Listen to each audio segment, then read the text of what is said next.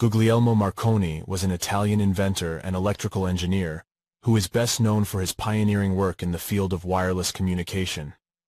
Here are some highlights of his success history and inventions.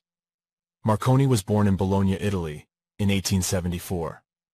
He was the son of an Italian aristocrat and an Irish mother.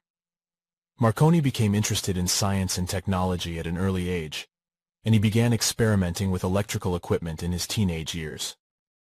Marconi's most significant invention was the wireless telegraph, which allowed messages to be transmitted over long distances without the need for physical wires. Marconi developed this technology in the late 1890s and early 1900s, and he conducted a series of successful demonstrations of wireless communication across the Atlantic Ocean. Marconi's wireless telegraph was widely used in the early 20th century, and it had many applications in areas such as shipping, aviation, and military communication.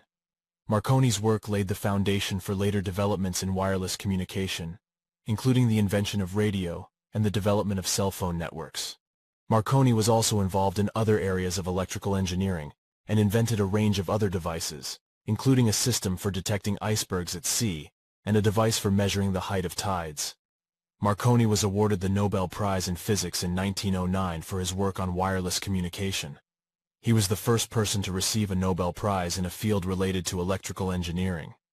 Marconi was a prolific inventor and entrepreneur, and he founded a number of companies to commercialize his inventions. He was also a pioneer in the development of radio broadcasting, and he helped to establish the BBC as the first public broadcasting company in the world.